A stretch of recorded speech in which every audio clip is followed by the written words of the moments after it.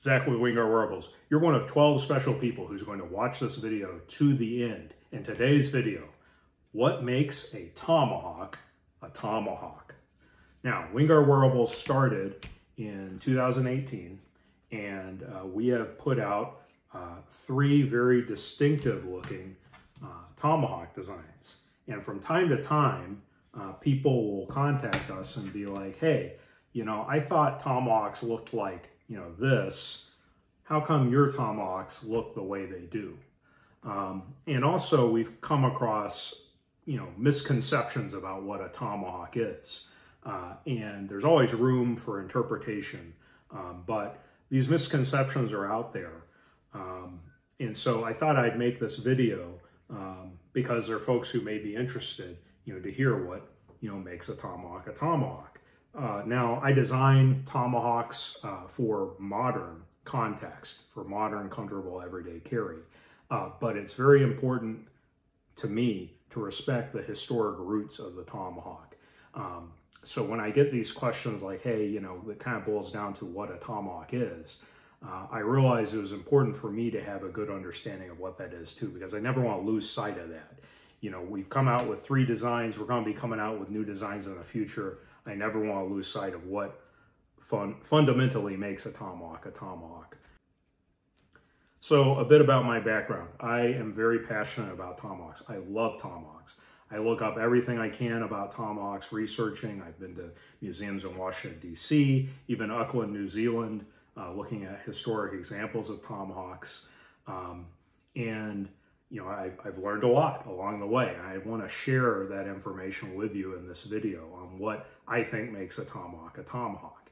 Uh, during the course of, of my work to design our distinctive tomahawks, I wanted those designs to be driven by historic originals, not reproductions, you know, make them modern for everyday carry today in our modern context, but I did want them to be derived from historic originals. In the course of that, I reached out to the very niche community of tomahawk experts. So uh, Jack Vargo mentored me for uh, you know, years, he passed away in 2020, but he was an archaeologist and a historic blacksmith.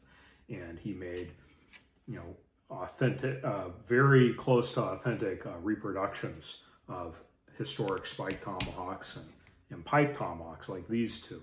Um, but, um, you know, he wrote the book on spike tomahawks. I've also, you know, reached out to Mark Miller, uh, who runs the website for tradetomahawks.com. So definitely check that out.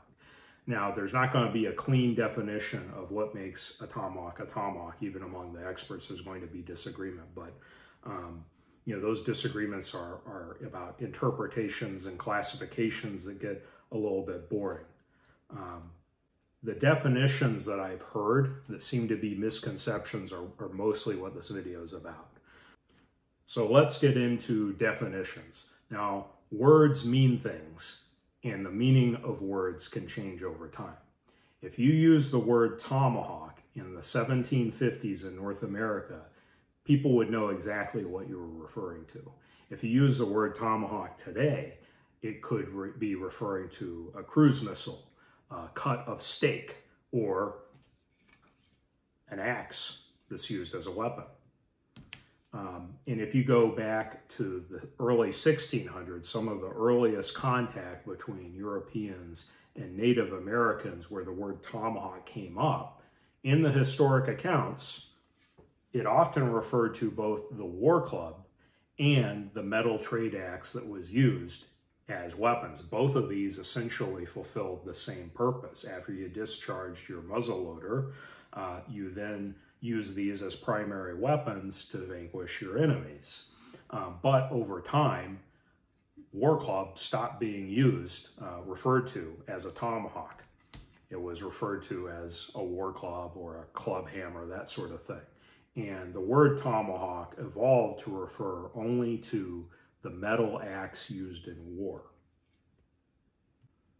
An analogy of that would be like pizza, the word. We know exactly what pizza is today.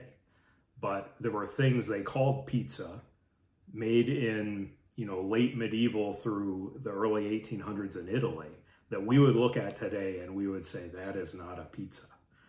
So I've seen two attempts to define what a tomahawk is, and they have a lot of misconceptions baked in them. Uh, the first one tries to define a tomahawk as a small light axe used by Native American peoples. The problem with that is it includes axes that were definitely not tomahawks. So for instance, one of the common trade axes uh, was uh, this style uh, that was used by Native American women to harvest firewood. It was a light forestry axe or hatchet. Uh, these were not serving as a primary role as a weapon. Many of them never saw any use other than hacking wood. Now, if you were out there harvesting firewood and you were attacked by a man or a beast, well, if it's the only thing you got on you, then yeah, you could use this like a weapon. Uh, but, you know, experts today would not classify these as tomahawks. Um, the other problem with the definition is it excludes eh, many tomahawks that were used by non-native people. So uh, there were uh, white people on the frontier that were using tomahawks. Uh, and there were, if you go all the way over to New Zealand, uh, Maori tribesmen that replaced their war clubs with metal trade axes that they mounted on whalebone handles and they used them as tomahawks and they were referred to, um, you know, in, in historic accounts as tomahawks. This also excludes tomahawks used today by soldiers and civilians. Uh, so that definition seems to include things that shouldn't be tomahawks and exclude a whole lot of things that are definitely tomahawks. So there's a second tomahawk definition that I've heard. Um, it seems to be an attempt to differentiate between tomahawks and hatchets. And I've seen it come up over and over again. Um, and it tries to define the tomahawk as a light axe that features a friction fit tapered drop to the top handle. And what I'm referring to is an axe whose eye is tapered and the handle is tapered. So you can insert it from the top and then sort of friction fit it on. And this example I'm holding is a uh, highly modified cold steel Trailhawk. Now, these head handle connections did exist historically. Um, they were popular uh, axe head handle connections both in historically in Europe and seen in uh, North America. And the reason they were used in the North American trade axe community uh, was back in the day, it saved a lot of money. What you do is you would make the axe head in Europe and then you'd pack a bunch of them on a ship that would then go overseas to North America and then you would unpack them sell them to people uh, that would then make the handles themselves. It was just a way to save on shipping costs. Um, but there were a whole lot of tomahawks out there that did not feature this head handle connection. So, for instance, this tomahawk in my hands right now is based on a, a historic spike tomahawk, and many spike tomahawks featured a wedged head handle connection. Uh, just numerous examples. That was a very popular method of head handle connection. It matches that of many hatchets, wood-handled hatchets today using a, a, wooden wedge or a metal wedge. Well, a lot of spike tomahawks and other tomahawks use exactly that same head handle connection. Um, I've even uh, seen a couple of examples of tomahawks that featured langets. So langets being little flanges of metal uh, that come down and are screwed or pinned to the handle. Uh, and those are separate pieces. And you see langets in medieval weapons, in boarding axes, and trench axes. And there, I've seen a couple of examples of uh, historic spike tomahawk or, or, tomahawks in general that had those langets on them. Um, and very similar to langets, you have this example. Uh, this was made in Chester County, Pennsylvania. I'm in Chester County, Pennsylvania. Uh, so this maker was many miles north of me, um, you know, a couple hundred years ago, but you can see he forged out these iron plates running down the axe head, which were then pinned uh, to the handle. It's a tomahawk, but it isn't constructed with that taper drop to the top head handle connection. Uh, you even have tomahawks that had uh, from that metal axe head, this long tapered uh, tang that was deeply set into the wooden handle and capped off with a ferrule. These were common for uh, common head handle connection for halberd style tomahawks, which were not a terribly common tomahawk, but still that method of head handle connection was often used for them. Um, and you have all metal tomahawks. So you have the uh, you know iron and steel axe head, you know hand forged, welded to an iron handle. Uh, so these look very, very similar to a medieval hurlbat, but they were on the North American frontier as a tomahawk, serving as a weapon.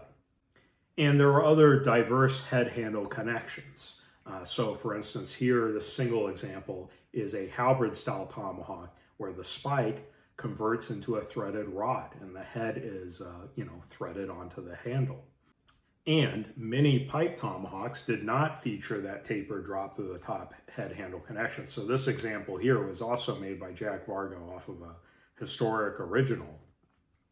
So the handle is thicker than the eye in this section.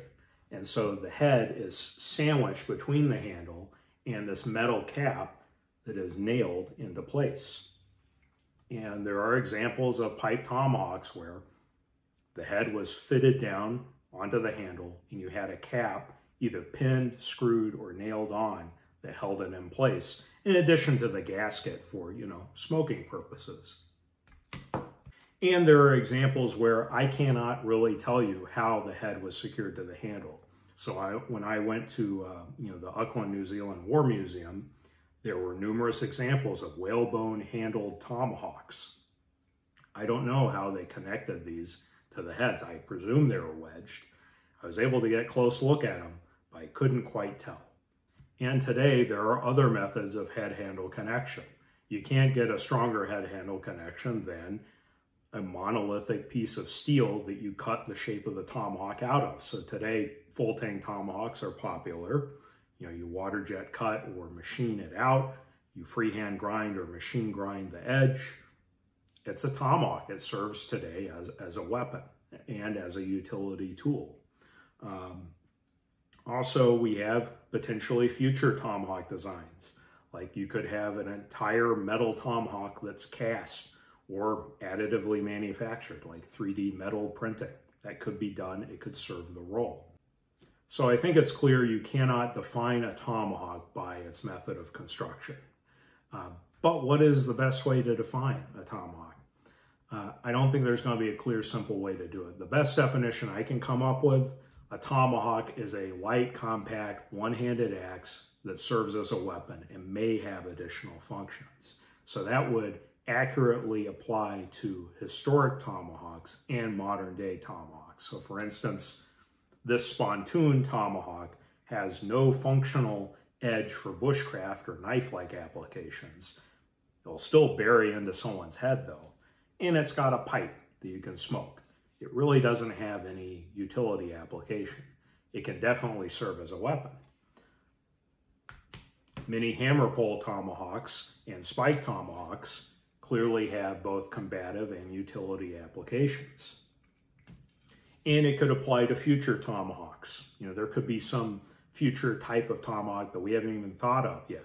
It may have some additional function that doesn't hasn't existed in the past, but could exist in the future. Uh, so I think that definition is very inclusive. One of the problems I have with the definition is if you applied it to the past in different contexts, it could include medieval hurlbats, you know, the Francisca used in the Dark Ages, or even these, uh, you know, funky African war hatchets. Uh, so the definition is not perfect, but it is kind of interesting to think that you know, the word tomahawk wasn't used in those time periods because it didn't exist, right, in those areas and time periods. But, you know, if it did exist, would they refer to those in historic accounts as tomahawks? I don't know. It's interesting to think about.